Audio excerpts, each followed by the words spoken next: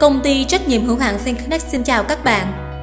Ở những video trước, chúng ta đã tìm hiểu về cách thiết lập các thông số cần thiết cũng như cách hệ thống tính giá thành sản phẩm trong phần mềm QAD. Chúng ta cùng thực hành bước cuối cùng trong quy trình tại video này nhé.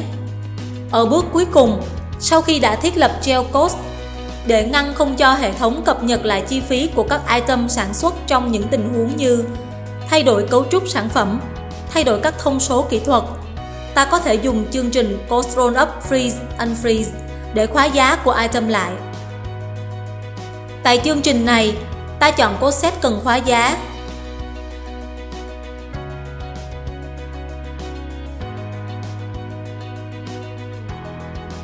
Chọn item thành phẩm A. Chọn lệnh Freeze. Ta thấy trạng thái của item A được chuyển thành đóng băng. Ta sẽ thực hiện thay đổi một vài thông số kỹ thuật để xem hệ thống có cập nhật giá thành sản xuất không nhé.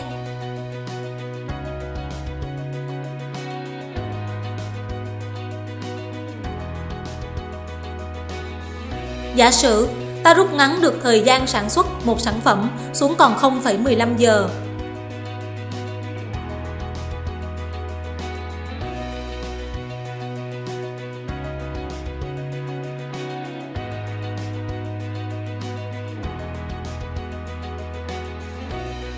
Đồng thời, giá nguyên vật liệu C tăng từ 3 đồng thành 5 đồng.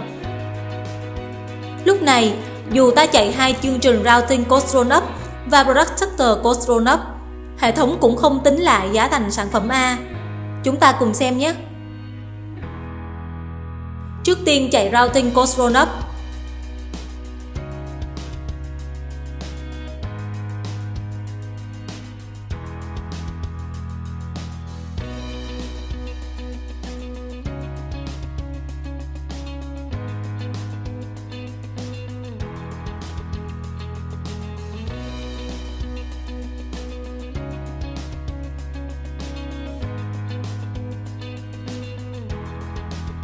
Chi phí tại this level là 12 và 20 vẫn không thay đổi.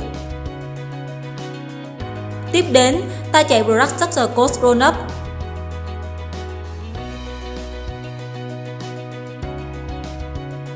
Kết quả không có sự thay đổi nào. Chi phí tại lower level vẫn giữ nguyên như cũ. Giá nguyên vật liệu C dù tăng vẫn không được cộng dồn vào bán thành phẩm B và thành phẩm A. Khi cần cập nhật thay đổi, chúng ta có thể mở khóa bằng cách chạy lại chương trình này với tùy chọn là Unfreeze.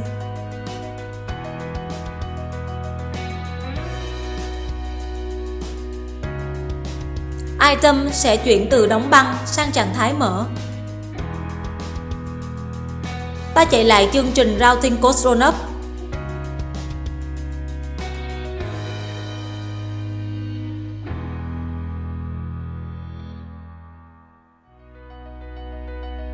Chi phí tại this level đang là 12 và 20. Được cập nhật thành 7,5 và 15. Tiếp tục chạy Product Charter Cost Roll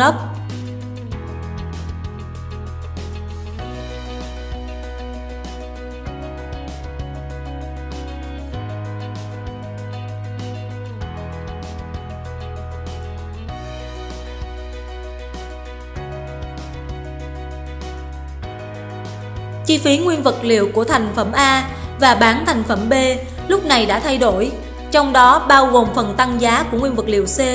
Như vậy, việc đóng băng đã ngăn hệ thống cập nhật giá thành của item trong quá trình sản xuất, giúp doanh nghiệp có thể thống nhất quy trình tính giá trong kỳ và hạn chế các khoản chênh lệch không mong muốn. Chúng ta vừa tìm hiểu về lý thuyết cũng như thực hành quy trình thiết lập và tính giá thành sản phẩm trên phần mềm QAD. Các bạn cùng trả lời những câu hỏi sau để ôn lại kiến thức nhé. Câu hỏi thứ nhất, chi phí ở level nào của item được cập nhật sau khi chạy chương trình Routing Cost Rollup?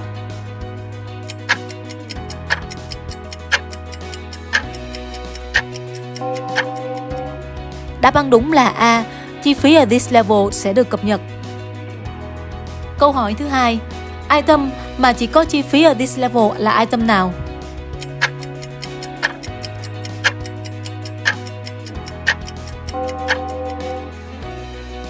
Đáp án đúng là A, item nguyên vật liệu. Câu hỏi thứ ba. Item thành phẩm chỉ có giá sau khi chạy cả hai chương trình Routing Cost Rollup và Product Structure Cost Rollup, đúng hay sai?